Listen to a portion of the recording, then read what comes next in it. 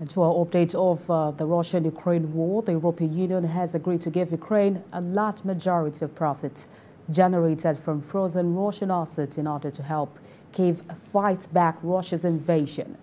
The European Commission President Ursula von der Leyen says the proposal could generate 3 billion this year and the first billion could be released to Ukraine by July. We have more in the reports. As the war between Russia and Ukraine rages on, countries and international institutions are sucked in and compelled to pick a side in this seemingly never-ending battle. One of the said institutions, the European Union, has announced another set of aid to Ukraine, but this time from an unlikely and definitely an unwilling source.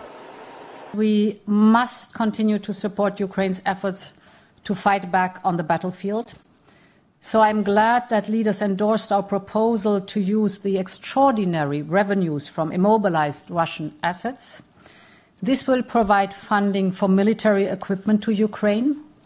We can expect to collect around 3 billion euros for 2024 and similar amounts in the future years. The European Commission President also revealed that the EU is looking at increasing tariffs on Russian grain, including stolen Ukrainian grain, entering into the EU markets. We have prepared a proposal to increase tariffs on Russian and Belarusian imports of cereals, oilseeds, and derived products.